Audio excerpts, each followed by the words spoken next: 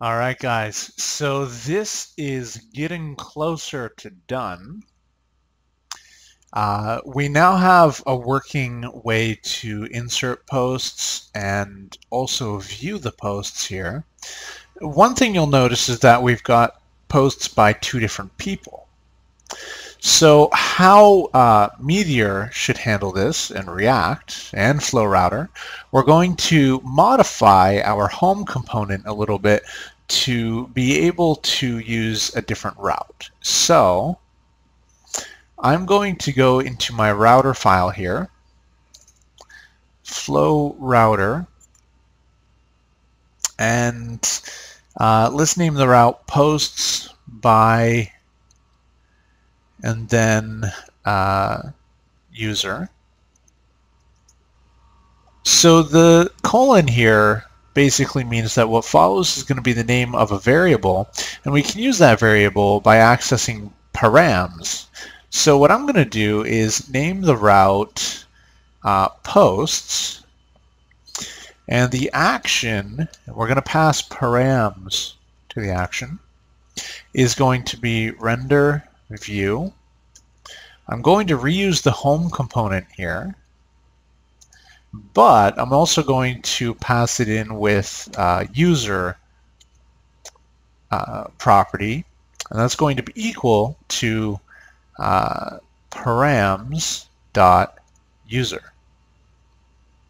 And so now I'm going to close this component and end that with a semicolon. I actually need to, uh, there, that got a little displaced there. Silly issue. Uh, when we create new routes, we need to type flowrouter.route. All right.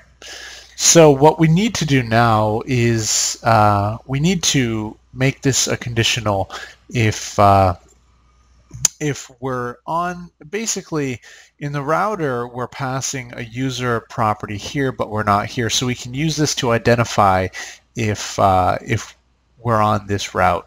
So what I'm going to do is here in the get posts uh, method, I'm going to say if uh, this dot props dot user, we're going to return posts find where the user is equal to this dot props dot user. I'm going to fetch those. Else we're just going to return all the posts. So if I go back here and refresh this,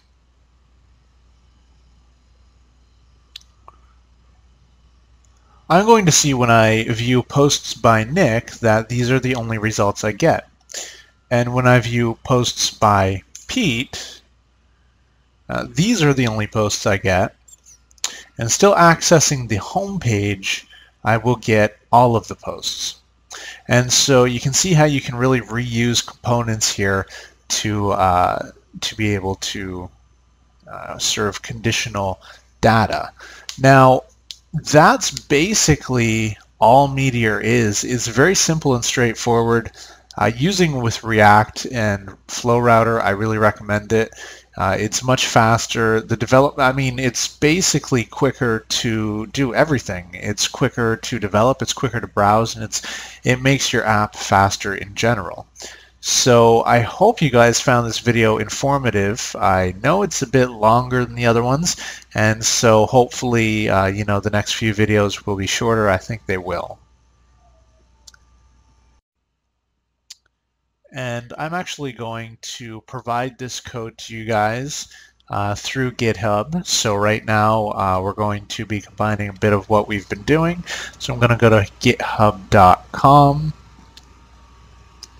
I'm going to create a new repository here and I'm going to call it Meteor React Tutorial. And let's initialize it with a README file and then uh, you know all the usual stuff. So from right in the directory here, type git init, git remote, add origin. Oh, I need to paste that URL here. I'm going to close WebStorm so that we can get rid of the .idea directory. Okay, so we can just use uh, the regular rm uh, rf uh, idea there. And then we're going to run uh, git ignore idea forward slash git add a. Git commit. Um, uh, the message is going to be uh, example meteor react stuff.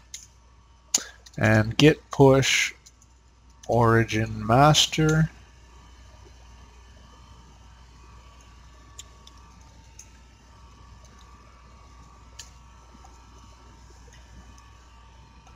There we go. If I refresh this, we should see, yeah. So here is the entire uh, Meteor project that we just created. Uh, you can find it at github.com slash nickgermain slash meteor dash react dash tutorial. So thanks for watching this video. I hope you guys found it informative. Uh, if a bit long, hopefully the next uh, set of videos should be a bit shorter.